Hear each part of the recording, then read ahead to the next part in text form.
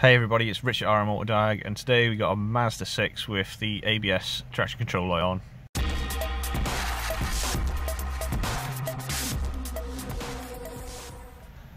Right, okay, so this Mazda, apparently this is an intermittent fault.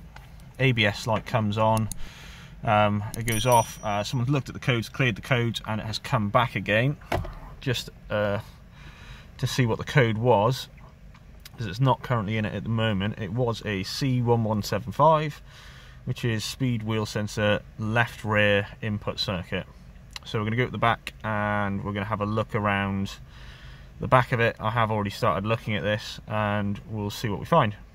Right, okay, so the setup on this is we've got a connector here in the near side rear panel just behind the door.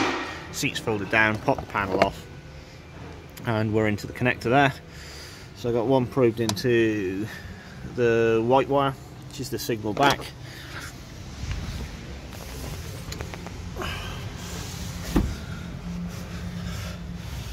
And we're underneath here now. Now I've had a look at the ABS ring up back in here, can't really get the camera on it. Spun it round, it's all in one piece, it's not cracked, anything like that. You can see the wiring going up through.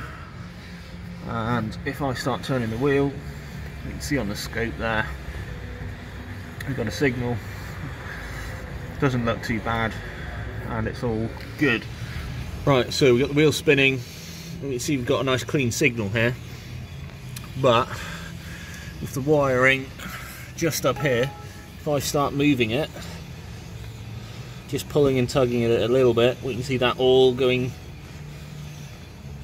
fuzzy. So I think we've got a broken connection inside of there. Luckily that is part of the sensor. It goes from the hub all the way up into the car. So this car is going to want a new sensor we can guarantee that from looking at our scope and that's it thanks for watching come again soon